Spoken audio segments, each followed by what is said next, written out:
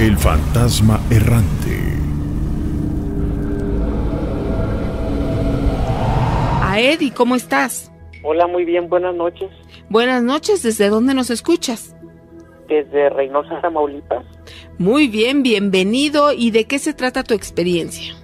Mira, mi experiencia me sucedió hace ocho años. Yo me encontraba estudiando la universidad en los Estados Unidos. Este, y me pasó pues en un, en un spring break.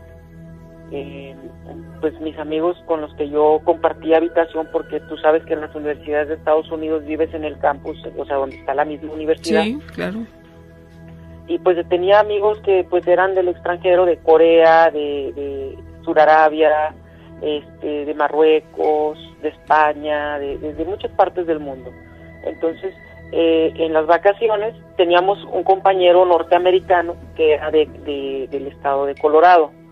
Entonces él nos invita a ir al cañón y nosotros pues eh, aceptamos, ¿verdad? Entonces nos vamos en caravana en varios vehículos a acampar al cañón del Colorado. Y bueno, ¿qué, fue mi sorpresa? Bueno, pues este, ya llegamos, acampamos en un acantilado que pues era como un barranco y tú- abajo había un camino y había un río y podías mirar el río desde ahí arriba.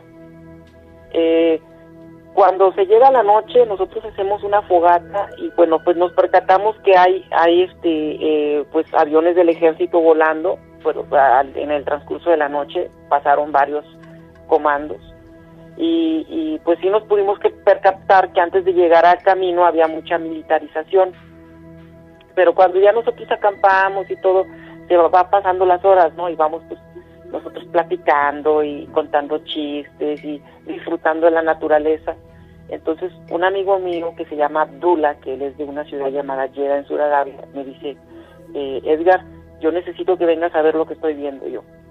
Pero para esto, eh, en, el, en el ambiente se percibía un olor como a llanta quemada.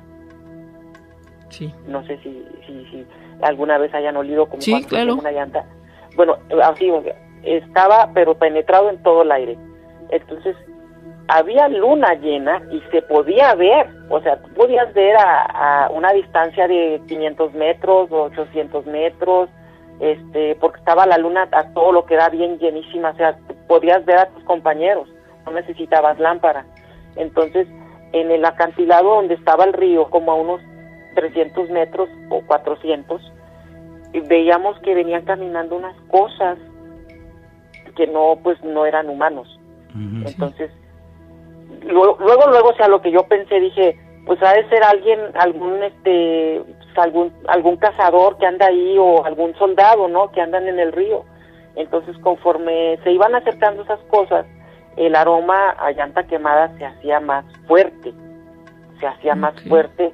Entonces nosotros nos asustamos cuando ya, pues, con la luz de la luna, empezamos a distinguir que no eran seres humanos, eran cosas, eh, no sé, eh, eran como, como nosotros, pero tenían piel de lagartija verde, o sea, eh, estaban muy grandotes porque, o sea, pasaban por donde había unos arbolitos, unos arbustos, pues yo soy de un, yo soy de un rancho, entonces yo conozco pues lo que lo que mide un esquite, lo que mide un huizache, lo que mide un ébano, lo que mide un fresno, entonces ellos pasaban por donde había árboles ahí en, en, en el en el rito que estaba ahí y pues se veían enormes. Entonces, otro de los compañeros traía unos unos este de estos miralejos, no sé cómo se llaman, unos Pues sí, unos catalejos binoculares. veniculares. Bueno, traía unos de esos porque pues ellos allá acostumbran mucho usarlos y dice, Sí. ¿sabes qué? Vamos a ver qué son. Entonces, eh, tratamos de no hacer ruido para no llamar la atención porque no estábamos muy lejos de ellos. Y cuando nos, nos prestamos unos al otro los viniculares, o sea, no nos podíamos, o sea, ni creer lo que estábamos viendo. O sea, eran, eran seis cosas eh, con, con, con cuerpo humano, pero con cara como de, eh, no sé si han visto a las lagartijas verdes, Sí, Sí. claro. Así, pero un poquito más chata la cara, pero así cara de lagartija, cuerpo de lagartija, escamas, o sea, todo. Eh, había dos que tenían cola y uno que no. de, de todos esos seres que andaban ahí. Yo me asusté muchísimo, sinceramente, yo me, me fui, me metí a la casa de campaña, yo ya me quería ir de ahí, me quería ir, pero mis compañeros me, me, me, me contuvieron, me decían, cállate, no digas nada, espérate. Estuvimos así en suspenso durante cuatro horas, o sea, de las tres de la mañana, tres, cuatro, cinco, seis, hasta las siete nos pudimos mover porque hasta las siete esas cosas se retiraron. Oye, Eddie, Entonces- pero ¿ustedes escuchaban ruidos o nada más los estaban espiando a que estuvieran ahí? ¿Qué es lo que sucedía durante este tiempo?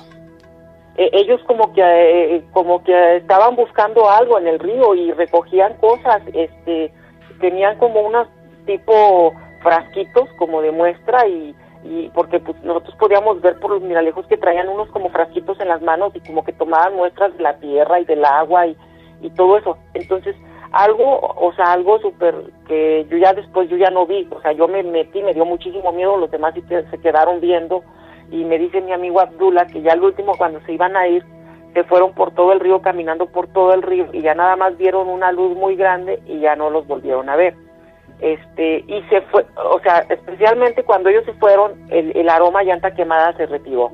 O sea yo quedé súper impactado. Yo le hablé a mi mamá a esas horas o sea le hablé y le dije mamá este estoy viendo estoy con mis amigos estoy en Colorado estamos en un en, en como en un tipo montaña y hay un acantilado y se ve un río y se ven unos eh, seres así así así así entonces mi mamá obviamente trató de calmarme me dijo sabes Sí. qué tranquilízate a lo mejor les están jugando una broma este les están haciendo algo bueno o sea total eh, yo me fui y me regresé a la universidad al campus, nos pasó todo eso, regresamos al campus. A los cinco días tenemos la visita de un agente de migración, que él decía que era un agente de migración, pero en realidad no era un agente de migración, era un agente de, de- ay, ¿cómo se llama? Es una corporación policíaca de los Estados Unidos de inteligencia, no recuerdo muy bien el- la, la abreviatura, pero me hizo preguntas relacionadas con lo que, eh, al lugar a donde fuimos a acampar, porque me dijo que era un lugar prohibido porque estaba cerca de la zona esa donde tienen, pues la zona famosa del área 51 y eso, y me dijo, Sí. este, está muy, eh, o sea, eh, que viste, yo sinceramente, pues, o sea, pensé mentalmente y dije, voy a decir que no vi nada, porque si digo que vi algo, me van a detener aquí. Claro. Entonces yo le dije, no, no vi nada, este, fuimos entre compañeros y no, nada raro, no, no, nada raro. Y bueno, total, pasó. Me regreso a México y para mi peor susto, en la Ciudad de México, en la estación que hace que, que hace conexión que es San Lázaro, Oye, Eddie, espérame, pero eh, a ver, no te me vayas de, de Colorado. Es que fíjate que te iba yo a preguntar si estos seres que tú viste mencionabas que unos tenían cola y otros no. Cuando Sí, te refieres no. a... ¿Perdón? otros no tenían cola. Ok, esa cola que tú mencionas era semejante a la de una vaca, era semejante a la de una lagartija o era semejante, no sé, tal vez como la de un cocodrilo. a la de un cocodrilo, exacto. Y porque tenían también crestas, esos, o sea, los que tenían cola tenían crestitas atrás. Ajá. Y nosotros sentimos que sí percibieron nuestra presencia, porque, o sea, te- a mí me entró un temor bruto, bruto, bruto, bruto, bruto. Y bueno, mis otros amigos, los norteamericanos que estaban ahí, nos recomendaron que no fuéramos a platicar nada. O sea, a mí de hecho me regañaron por haber hablado con mi mamá por teléfono, pero yo les dije, sí, yo no me puedo aguantar algo así. Y en este cañón allá en Colorado, yo había escuchado que hay incluso eh, personas que ven siluetas que remiten que pueden ser eh, los primeros pobladores de ahí y que recuerdan el paso de ellos hacia el, el tramo que llevaban, ¿no? Es lo que se dice, que el aura de estos pobladores originales ahí se quedó impregnada. Pero ahorita lo que nos está platicando Eddie, pues a mí me refiere a algo así como de origen extraterrestre. Los reptiloides, Gina. Eddie, ¿tú con qué lo relacionaste en ese momento? Mira, yo estaba acostumbrado en ese tiempo a ver los extraterrestres, pues los grises, o sea, los que salen en televisión, ¿no? El típico monito chiquito. Yo, o sea, in- inmediatamente, pues lo que se me vino a la mente fueron los dragones o dinosaurios. Este, pero por lo más increíble para mí es que era esas cosas, este, se, pues nosotros veíamos que estaban organizadas, eran inteligentes. Este, un compañero de nosotros que estaba estudiando biología en la universidad, pues me dice, ¿sabes qué? O sea, no podemos movernos, no, pues no sabemos qué son, o sea, tenemos que aguantarnos hasta que se vayan, porque estamos a expensas de que pues nos puedan hacer algo, porque eran unas cosas tremendamente altas, o sea, fácil, fácil medían los tres metros, fácil, o sea, los que tenían cola, y los que no tenían cola, eh, aproximadamente un 80, 90, o sea, pero se veían grandísimos. Sí. Este, bueno, pues yo yo yo me quedé así callado por mucho tiempo porque pues o sea lo que me hizo el gobierno americano mandar una persona ahí a, preguntarte este que supuestamente era de migración yo me yo yo me di cuenta que no era de migración porque después cuando tú regresas a México eh, que tú estudias allá y todo tienes que ir a postear a legalizar tus documentos entonces ellos te ponen pues una lista de las visitas que has tenido del agente migratorio o de los impuestos que has evadido o que has, que debes o que o que pagaste o X, ¿no? Entonces yo les hice la pregunta de que, oye, tal día fue un agente de migración a preguntarme por un viaje de vacaciones que tuve con unos compañeros, así, así. Me dijo el cónsul, no, nunca hemos mandado a buscar, o sea, nosotros mandamos cuando deben al CIARREST o tienen eh, alguna deuda en la universidad, pero no, dice, nosotros nunca mandamos a ningún oficial. Entonces eso pues me dio como que la sensación de inseguridad, ¿no? De estar ahí. Y otra cosa es, bueno, pues, o sea, yo me vine a México, me vine a México, pues dejé que pasara el asunto, de repente yo platico con mis amigos, con, con mis amigos de Arabia Saudita, con mi amigo de Rusia, con varios que, que fuimos ese viaje con los coreanos, platicamos sobre el, sobre el tema, ¿no? Por, por, por chat y, y platicamos y decimos, oye, ¿qué onda? ¿Si te acuerdas? No, pues sí.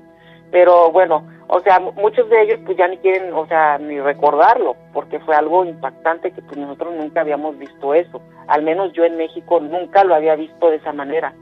Cuando yo regreso a la ciudad, porque regresé a México después, años después, regreso a la Ciudad de México y en el metro, en el metro los vuelvo a ver. Oh. ¿Cómo en el metro? ¿Como pasajeros? no, no, hágale cuenta que el metro, o sea, el metro del el metro de la Ciudad de México se para en lapsos a veces eh, eh, en, no sé por qué se para en medio de a medio del túnel, o sea, no sé. Entre dos estaciones. Sí, se paran entre dos estaciones y una de esas me tocó irme en el vagón de hasta atrás porque estaba hasta el chongo el tren, o sea, el metro estaba lleno de gente y me tocó irme hasta atrás y, y, y, por la puertita se abrió, entonces la cabinita que quedaba a un lado, pues también, o sea, tenía acceso de que entraras y salieras. Entonces yo me metí ahí para mayor comodidad porque iba muy apretado. Sí. Entonces resulta que ahí, en la cabina, veo esas cosas como, eh, pues en una división de, de línea, cómo brincaban de un túnel al otro, pero con una velocidad tremenda. Entonces me entró un pavor y me entró un pánico que dije, estas cosas me están siguiendo. O sea, yo tuve esa percepción tuve esa percepción y yo lo platiqué con gente, pues, con gente profesional, pues, amigos que estudian medicina, amigos que estudian física, amigos que, estudian astrodinámica y todo ese tipo de cosas relacionadas con el espacio y todo eso. Tengo un amigo de ellos que me dice, ¿sabes qué, Edgar? Eres uno de los pocos que, que, que, se ha dado cuenta de que esas cosas existen y que están aquí en nuestro planeta y algunas veces son tridimensionales tridimensionales, o sea, brincan de una dimensión a otra, pero son físicas y son biológicas, como nosotros. Entonces, pues, este, o sea, en esa época yo llegué en el 2015 a la Ciudad de México cuando vi eso que sucedió. Sí. Bueno, pues bueno, yo me voy a, trabajar a otra ciudad, me suceden otras cosas, lo vuelvo a regresar a México. Oye, oye, espérame, ya, ya te vas otra vez, ya ves. traes prisa, amigo. Oye, fíjate que entonces puede ser que no sean los mismos, sino que son otros, iguales, que están en todos lados. Es de acuerdo a los testimonios de personas que han podido ver a los reptilianos, eh, a esas teorías de conspiración también, a nuestros amigos y asesores que tenemos en ufología, nos han comentado que efectivamente están en todos lados. Es más, hay unos que se camuflajean eh, disfrazándose de humanos y que están entre nosotros. Pues Entonces, para allá voy. Porque fíjate, fíjate también hubo una llamada teoría de conspiración que estos hombres lagarto o reptilianos viven aquí, hablando específicamente de México, pero que son reptiloides intraterrenos, o sea, intraterrestres. Entonces, estaríamos hablando de una civilización que está viviendo abajo de nosotros, pero que tiene precisamente este aspecto. Obviamente es una de estas llamadas teorías, pero vamos a continuar con lo que nos quieres platicar. Pues yo opino que están entre nosotros. Les voy a decir por qué. Yo me regresé a trabajar a otra ciudad y me dieron trabajo en un banco. Entonces me toca estar en un nivel pues de alto mando y me toca ir a la Ciudad de México a una junta de inversionistas para asesorar a mis clientes y estar en la, en la bolsa, bla, bla, bla, decirles cosas pues relacionadas con el banco. Entonces en esa junta fue en un hotel y, y los altos mandos del banco estaban en, en, pues, en una conferencia, en una videoconferencia y pues en esos en esos como son como auditorios que tú vas de un abres la puerta y ya entras a otro y están comunicados. Entonces a mí se me ocurre pues abrir la puerta porque pues me entró la curiosidad de saber qué estaban platicando a ver qué estaban haciendo porque se veía que estaban carcajeando y como que había fiesta y eso no entonces abrí entonces vi que en la pantalla de la video, la videoconferencia estaba una persona pues con la cara así como deforme y, efectivamente pues me di cuenta que era una de esas cosas, que les estaba dando indicaciones a los altos mandos del banco. Entonces, pues yo me asusté y me salí así como que despacito, que no se dieran cuenta que yo había abierto la puerta ni nada, me salí. Y bueno, pues me pasó eso y pues me comunico yo con mis amigos que tuvimos esa experiencia en Colorado y también ellos me comentan que en sus propios países han tenido también, o sea, experiencias eh, relacionadas a lo que nosotros vimos, que han visto gente que en, el mismo, tengo un amigo que trabaja en Turquía en un hospital, que es médico, dice, yo aquí en el hospital he llegado a atender gente así, o sea, seres que no son humanos, como esos que vimos. Oye amigo, pero a ver, entonces, esto implicaría que la gente, los altos mandos eh, de los bancos, tienen conocimiento de que hay eh, infiltrados estos reptiloides o reptilianos en, puntos estratégicos, eh, como lo puede ser, por ejemplo, alguien que maneja la economía? Yo estoy seguro que hasta son líderes nacionales, o sea, líderes de las naciones, o sea, eh, presidentes, o sea, tienen altos mandos, son gente muy poderosa, pero pues no sé por qué a nosotros nos tocó en la época de estudiantes ver lo que ellos estaban haciendo eh, eso cambió mi percepción sobre pues, la vida extraterrestre, sin, duda alguna, porque pues antes de que me sucediera yo no pensaba que los extraterrestres tuvieran esa forma, yo pensaba que eran la forma como en la televisión, que pues unos con muchas, eh, no sé, muchas manos y, tenazas y, y otros así chiquitos y, y esos pues me cambiaron a mí como quien dice el para eh, pues ahora sí el pensamiento lógico que yo tenía. Y, y, pues sí siento que, que la vida extraterrestre ha tenido mucha influencia en la humanidad. O sea yo después de eso cambié mi forma de pensar o sea de ver la tecnología. Simplemente el hecho de ver que en 10 años los teléfonos celulares han avanzado en, en un salto cuántico porque pues o sea, es inexplicable decir, ¿sabes qué? Hace 10 años los teléfonos no tenían video, no tenían cámara, no tenían música, no tenían Bluetooth, no tenían Wi-Fi. Y ver lo que ahora lo tienen, o sea, dices, ¿cómo? Sí. Igual la televisión y muchas cosas que ahora veo, digo, esto es obra de esas cosas.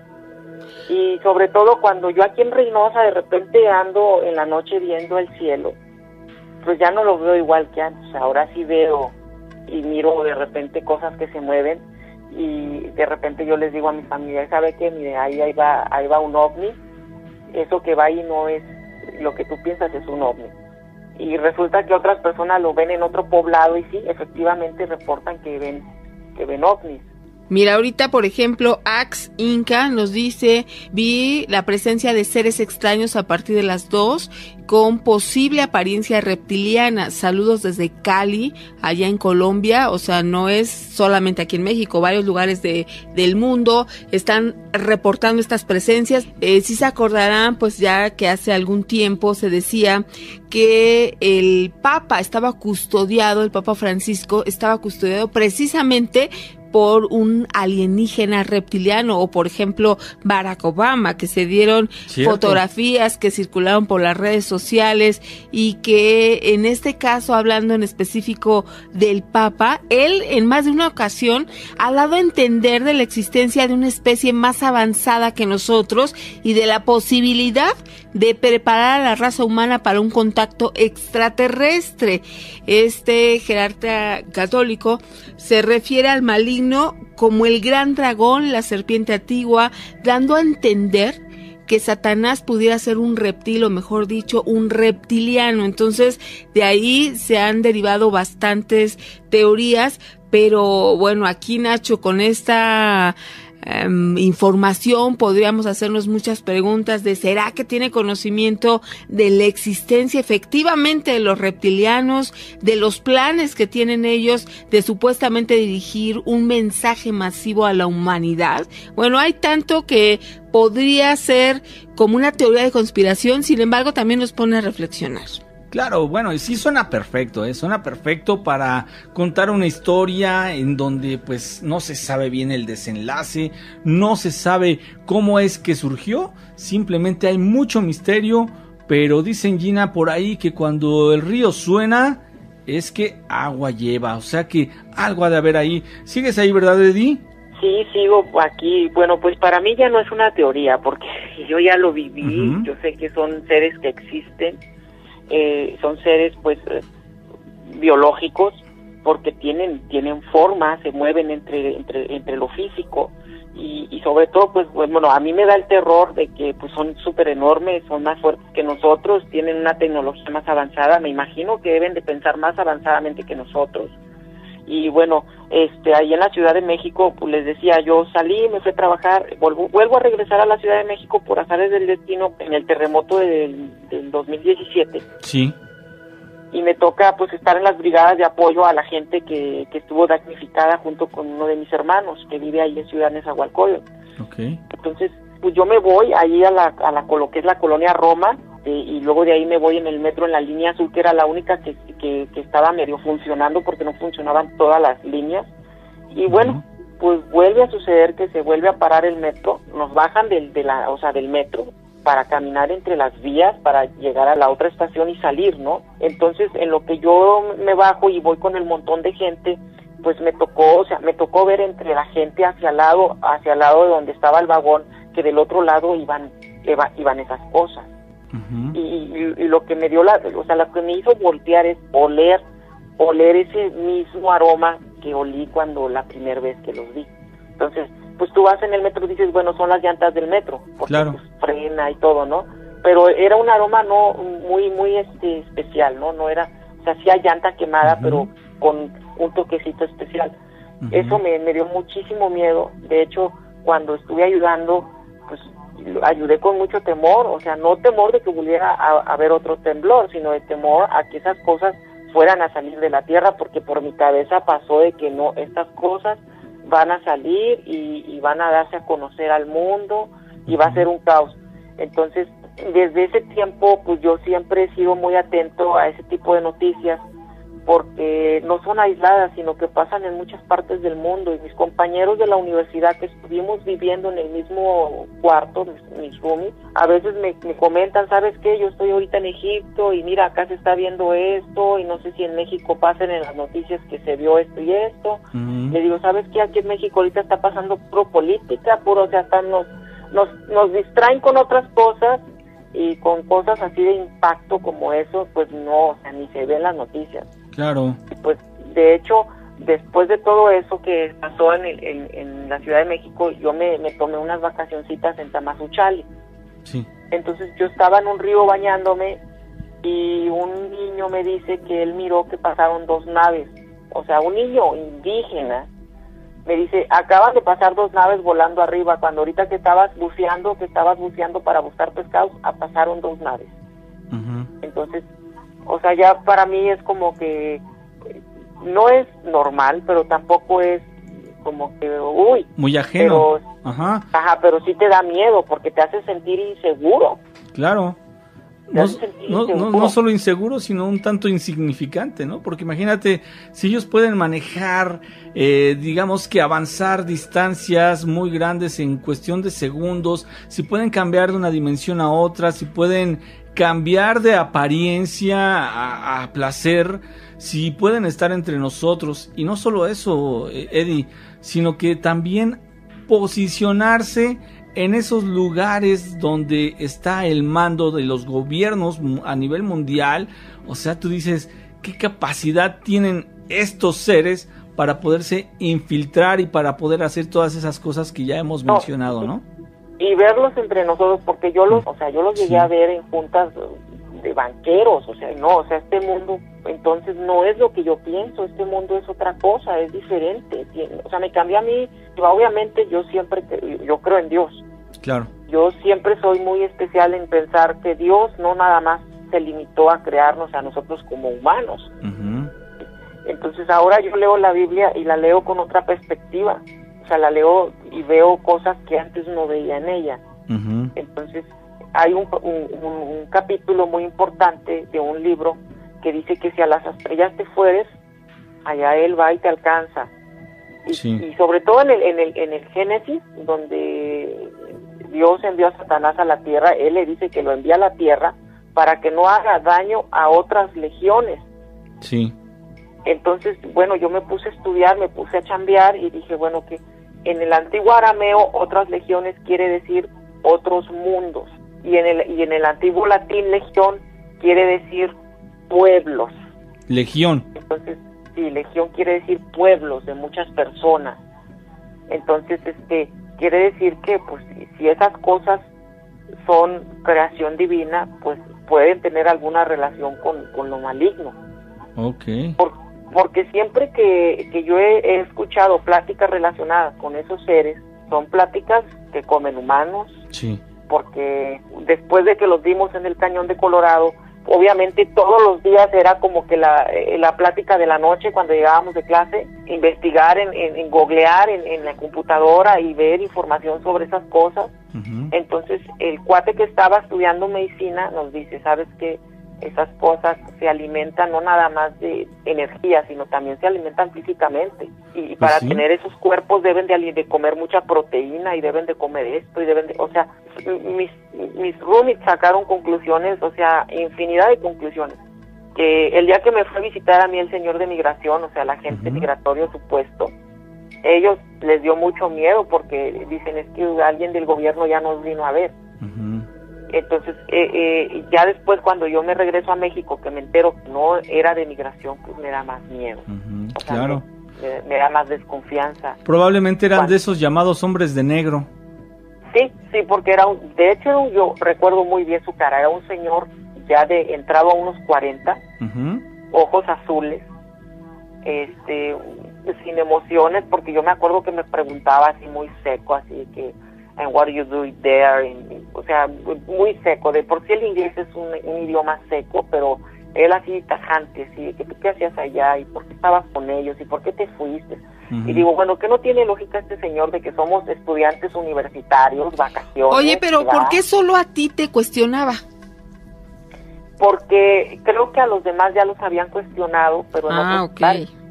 Entonces, a mí tuvo que cuestionarme dentro del departamento donde nosotros vivíamos dentro del campus. Y, había dos compañeros que estaban ahí, pero ellos mejor decidieron salirse, o sea, no como que dijeron, no, no, no, nos vayan a, a preguntar también a nosotros. Y ya cuando él se fue me dicen, ¿qué te dijo? ¿Qué te preguntó? Este, ¿qué onda? ¿Qué pasó? Te preguntó sobre lo que nosotros vimos allá, ¿verdad? Y le digo, ¿sabes qué? Sí me preguntó eso, pero yo le dije todo que no. Entonces, la impresión más grande es que regreso a México y veo que esas cosas también existen aquí en nuestro país. Sí, claro. Y que mucha gente pues las ve, pero pero no se da cuenta lo que son, o sea, las ve y, y piensa otras cosas, o piensan que, que, no sé, a lo mejor vieron una ilusión o, no sé, pero yo sé que esas cosas este, tienen algo que hacer aquí en nuestro país y, y, siento que no es algo bueno, porque si fuera algo bueno, no tienen por qué esconderse. Pues sí, exactamente. Eddie, pues nos contaste una experiencia que ya se quedó aquí como testimonio. Te agradecemos muchísimo que la hayas compartido y te invitamos a continuar con el programa para cuando quieras volver a participar. Con todo gusto, aquí tienes un lugar. Si no, pues sí, muchas gracias. Un saludo a toda la gente de allá de la, de, del Aragón, de Cuyuya, este, ahora ya se van a querer subir al metro por lo que dije. Pero este, ahí andan, o sea, ahí ahí andan en la Ciudad de México esas cosas. Y no, nada pues más ahí, vamos a estar más alertas, también. al contrario, Eddie, vamos a estar más alertas para ver si captamos alguno. Te agradecemos mucho que tengas excelente noche. Igualmente ustedes también, saludos. Hasta luego. Saludos buenas- a Flama Roja también. Ahí Sale. nos está escuchando Flama Roja, un luchador muy famoso. Órale, un saludo y una llave china. Ah, no, ¿verdad? Muy bien, amigo. Que descanses. A Clau Rebe, ¿cómo estás? Pues muy bien, gracias. ¿Y ustedes? También ya listos, tú vas a iniciar el programa el día de hoy, entonces tiene que ser una experiencia espeluznante, Clau. ¿Sobre qué se trata? Sí, mira, te voy a contar este, una situación que, que le pasó a mi hijo, Sí. Porque ya ves que cuando están en una edad de 16, 17 años son un poquito rebeldes, ¿no?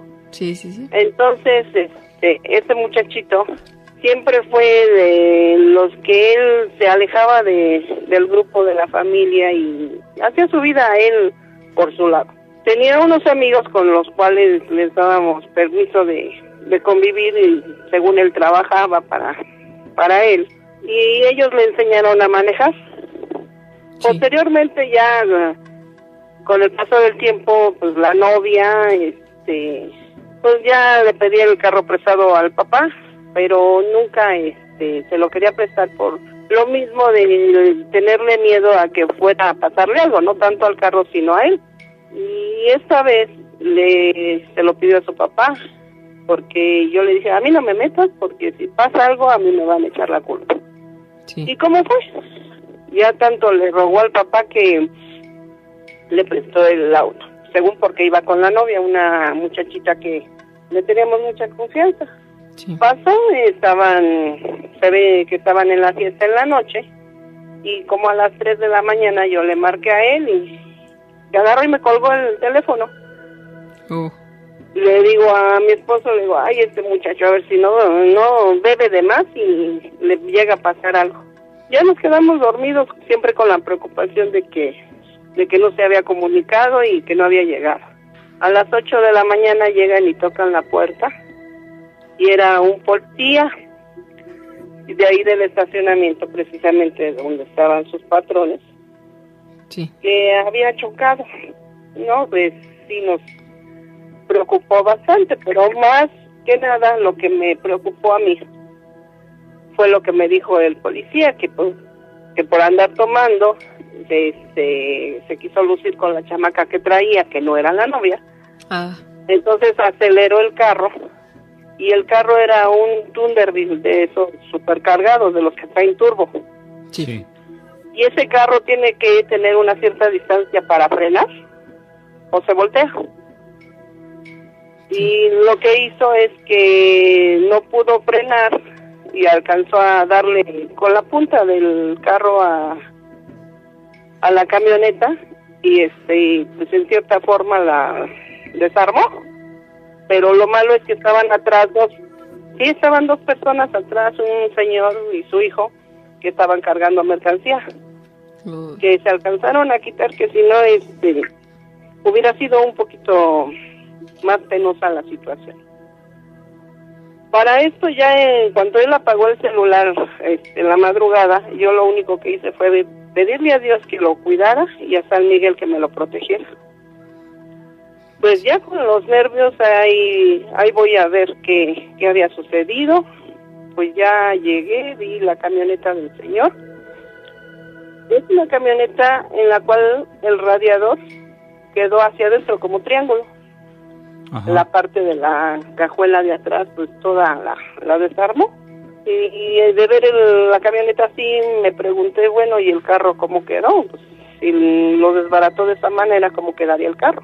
Me dice, el carro está allá, pero atienda ese, ese problema que mire. Le digo, no, pues déjeme ver mi carro, le dije al policía. Ya fui, vi el carro y lo único que tenía del cofre, doblada la punta un poquito, eso sí, le rompió la, la calavera, el faro de adelante, y pues la dirección, que se ve que se trabó y ya no pudo este, pues manejarse. Y ya arreglamos el problema en cuestión de pagar la compostura y eso. Y ya que lo localicé, porque con el miedo se escondió, le pregunté, bueno, ¿y cómo estuvo la situación? Dice, mira mamá, me dio mucho miedo porque me subí al carro y se lo venía manejando Gustavo. Gustavo es un amigo de él. Sí. Y agarró y este, dice, venía eh, manejando Gustavo y dice, y él lo iba a estacionar. Dice, yo le dije, no, no, no, yo lo estaciono ahorita. Dice, en un 2 por 3 lo estaciono. Oye, Clau. Lo quitó del volante y él se subió. Le aceleró. Entonces, para eso te voy a decir que es un cuadro el estacionamiento. Clau. tiene un declive para bajar, se sigue derecho, otro para subir y ya este en la subida hay donde puedes estacionar carros. Pues mira, este ya que pude platicar con mi hijo, le pregunté que pues, qué había pasado, ¿no? En, en sí porque este, había chocado el carro en esa cuestión, porque dejó ya no dejó que Gustavo siguiera manejando, si él venía muy pues ahora sí alcoholizado, ¿no? Sí. Y me dice, "Mira, mamá, dice, yo lo que hice fue subirme al carro y acelerar. Pero en cuanto aceleré, el carro se, se fue. Dice, y a la hora de subir la rampa, dice, quise este, dar la vuelta, pero se me trabó. Dice, dice, yo dije, ahorita ya, ya me voy a estrellar con la camioneta que estaba enfrente. Dice, pero en eso sentí este como unas manos encima de las mías. Dice, y el volante giró muy muy suavemente. Dice, por eso fue que le pegué nada más con la punta. Que si se hubiera seguido trabado, dice, pues le hubiera dado de lleno. Los dos, las dos trompas de los carros se hubieran quedado pues deshechas, ¿no? Sí. Le digo, es que se me hace imposible que nada más se haya roto el, o sea, que se haya doblado la parte del cofre y quebrado la, la calavera, ¿no? Me dice, no, es que yo tenía mucho miedo y no sé, dice, pero sentí unas manos yo fueron las que me ayudaron a, pues ahora sí que a, darle la vuelta al carro y, la, y el carro respondió. Entonces yo yo siento que, que fue San Miguel quien, quien lo hizo. ¿Por qué tú lo encomiendas? Y a todos los de mi familia, pues yo, yo siempre los he encomendado a, a San Miguel porque, te digo, yo desde que descubrí que los ángeles sí existen, yo se los encomiendo a él, principalmente al Padre Eterno, ¿no? Entonces, este, pero esa vez sí nos quedamos sorprendidos de ver que en cierta forma no fue para tanto el accidente. Ahí no nomás hubieran sido los carros, hubieran sido dos vidas las que se hubieran perdido todo por... Imagínate. El hecho de que tu hijo haya sentido cómo alguien ponía las manos encima para que el volante eh, fuera para un lado, pues es algo que no tiene una explicación lógica, ¿no? de ver la camioneta, porque lo primero que llegué a ver fue la camioneta que me dijo el policía. El policía era el que cuidaba ahí en, en el estacionamiento.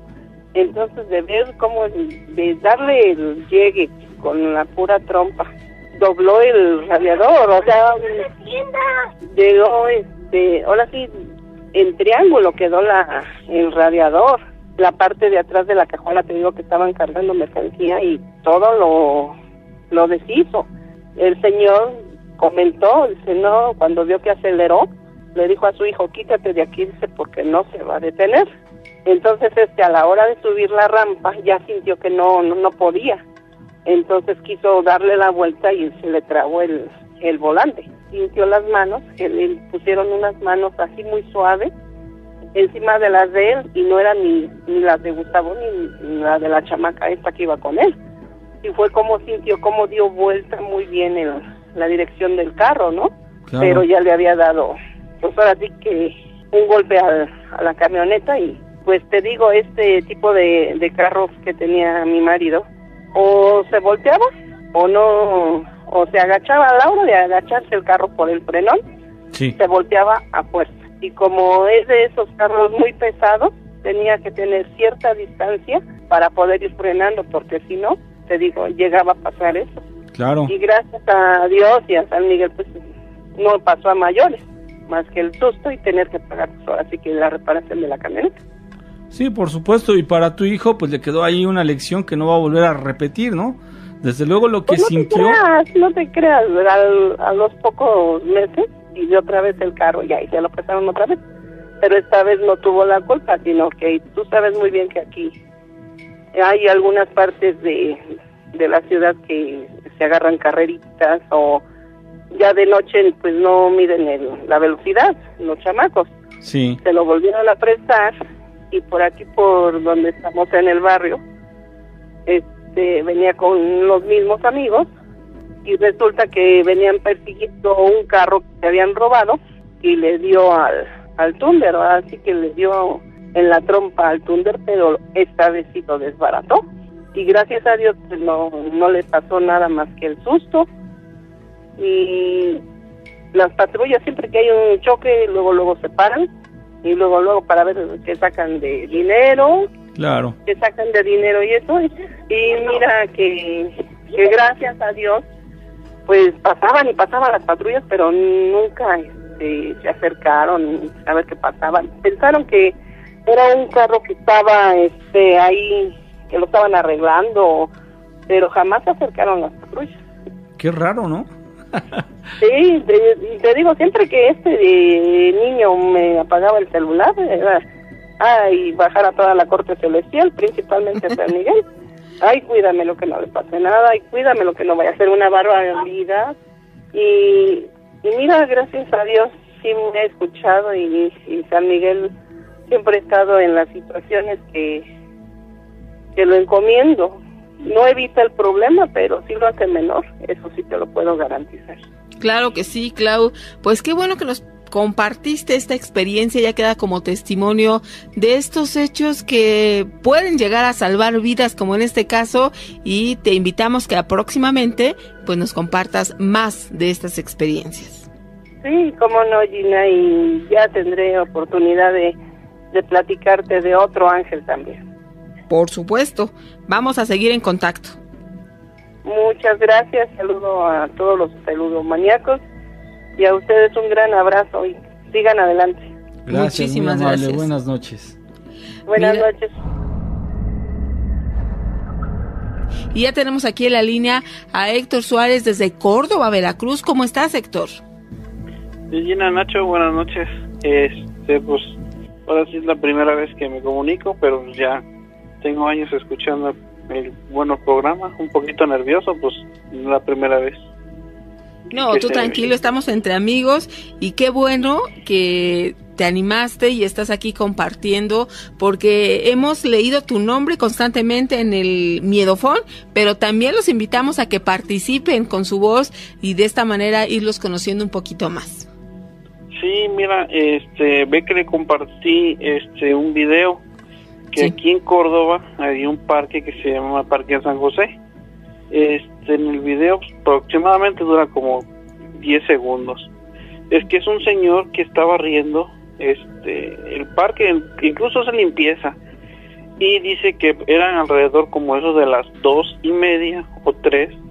Dice que escuchó ruidos, como que de- escuchó voces de niños y lo que él hizo es asomarse porque el parque incluso lo cierran, está cerrado el parque y lo cierran este pues para que ya la gente no se meta.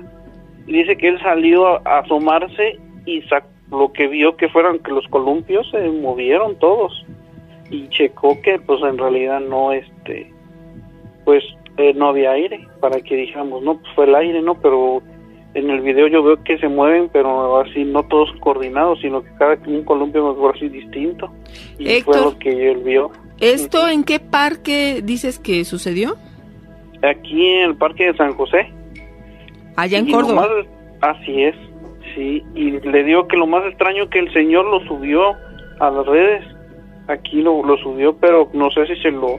Les dieron muchos, este, hubo muchos mensajes a él que dónde era, que dónde era fue. Y pues él dijo, no, pues aquí en Córdoba. Pero el, el video nomás duró como, ¿qué será? 20, como menos de 20 minutos. porque este se lo quitaron del ahora sí del, del Face donde, los, donde lo subieron se lo quitaron se lo se lo cómo le puede decir se lo bloquearon porque hubo muchos comentarios Fíjate fue que lo más extraño al checar y por lo que nos comentas, me recuerda también en un video parecido que nos enviaron, pero este decía que sucedía en el Parque de los Niños, en la colonia aquí Alfredo del Mazo, en Naucalpan, en el Estado de Ah. México. Y también eran unos juegos que infantiles que se movían solos, pero definitivamente el ir checando todas estas datos, esta información, pues nos da eh, la pista de que hay algo extraño y sobrenatural. Héctor, muchísimas gracias por haberlo compartido. sí no y pues ahora sí saludarlos y me da mucho gusto que ese programa siga siga adelante y pues a, a seguirlo Por Hasta supuesto. cuando se pueda Que tengas Y ex- saludo a- a- sí gracias y saludo Nacho Gracias, sí. amigo. Aquí estamos al estamos. pendiente.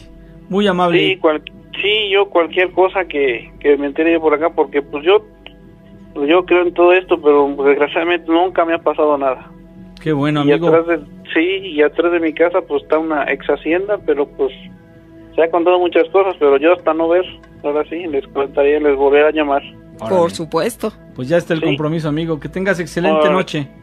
Igualmente, muchas felicidades, gracias. Hasta luego. Amaya, ¿cómo estás? Hola, bien. ¿Desde dónde nos escuchas? Eh, de Veracruz. Veracruz, gracias por estar aquí presente y sobre qué se trata tu experiencia. Ah, bueno, este, mm, mi marido habló hace unos días y platicó cuando nosotros vivíamos en un lugar que estaba junto al cerro y que los juguetes de mi hijo se movían. Ajá. Ok, sí. Bueno, pues antes de que viviéramos ahí, yo un tiempo viví sola con mi hijo, y, bueno, con mi hijo y con mis hermanos, pero mi hijo tenía como uno, como un año, apenas empezaba a caminar, pero pues ya daba sus pasos solito, pero él no hablaba, tardó mucho en hablar, entonces mi hijo este, hablaba puras señas. Entonces me acuerdo que estábamos en el cuarto, de hecho estaba mi esposo, y estábamos en el cuarto y el niño estaba jugando y de repente se quedó quieto y se quedó mirando hacia arriba. Entonces, este, yo vi que se quedó mirando hacia arriba y empezó a seguir algo, así por todo el pasillo de mi casa. Llegó a la cocina y se quedó parado, viendo hacia ese mismo punto, hacia arriba, y empezó a decir, no, no, pero así como con miedo, y de repente como que giró la cabeza y se le fue, y regresó su mirada hacia nosotros, así como que, no sé, como si hubiera seguido algo, como si algo le hubiera hablado, pero así después se fue de la nada, no lloró ni nada, pero cuando sí dijo que no, pues sí se veía como con miedo. Esa vez sí me saqué mucho, pues de onda porque, pues, estaba chiquito, ¿no? Y yo a veces siento que ellos, pues, sí ven como otras cosas. Yo llegué a pensar que a lo mejor había sido, este, no sé, mi mamá, porque mi mamá tenía como ocho meses que había fallecido. Sí. Entonces, de hecho, pues en mi casa, o sea, en la casa en la que ya ahorita vivo otra vez, porque es la casa de mis papás, sí pasan o se escuchan ruidos pues muy extraños. Oye, ¿tu pequeño cuántos años tenía cuando sucedió esto? Como un año. Ah, estaba muy chiquitito. Y el hecho, hecho, pues, yo soy católica y yo en ese entonces todavía no estaba bautizado. oye, pero el hecho de que haya puesto esta cara de terror significa que definitivamente lo espantó porque si hubiera visto a tu mamá él todavía no entiende en ese en esa época no entendía la diferencia en que ella ya hubiera fallecido no entonces a lo mejor si lo hubiera visto él no hubiera reaccionado con miedo Pues yo también pienso eso, pero pues intentando calmar mi miedo también que haya visto algo malo, pues intento pensar eso. Porque a mí me han pasado muchas cosas. Por ejemplo, cuando rentamos igual en otro lugar, y yo siempre pues obviamente pongo ofrenda, ¿no? A mis papás. Pero esa ocasión este, puse mi ofrenda, dejé mis velas prendidas y todo, y en la noche pues nos quedamos dormidos y este cuando abrí yo los ojos a media madrugada, bueno, yo digo que era medio madrugada porque pues ya estaba muy oscuro, ya había dormido un rato, estaba una mujer parada viéndome en la puerta. No sé, yo no, no sentí miedo ni nada, pero por ejemplo se le veía, yo, sentí- yo siento que es una mujer porque se le veía el cabello como suelto y esponjado, pero no se le veía así la facción o nada, se veía como nada más la silueta, la sombra. Entonces, pues como era Noche de Muertos, pues yo igual justifico que pues a lo mejor era mi mamá, ¿no? Pero pues no, nunca supe qué fue. Porque mi mamá no tenía el cabello así, mi mamá tenía el cabello muy lacio y muy corto. Sí. Nunca se le vio así. No, entonces no era tu mamá. Eh, vamos, te voy a hacer la pregunta. ¿A ti te gustaría que fuera tu mamá? ¿Mandé? ¿A ti te gustaría que fuera tu mamá esas presencias que han detectado tanto tú como tu pequeño? ¿Te gustaría? La verdad no me gustaría, porque Eso es. siento que no está descansando. Exacto. Sí, tienes mucha razón. O sea, es, preferible pensar que se trata de otra cosa, una situación completamente distinta, para que también tú llegues a encontrar la paz, ¿no? La tranquilidad de que tu mami Claro. está descansando en paz, está con el Señor y no que ande penando por acá, porque imagínate qué, qué martirio, ¿no? Tanto ella, tanto para ella como para ti, el estar eh, imaginando cuál será el motivo por el que no ha podido descansar. ¿Verdad? Claro, claro.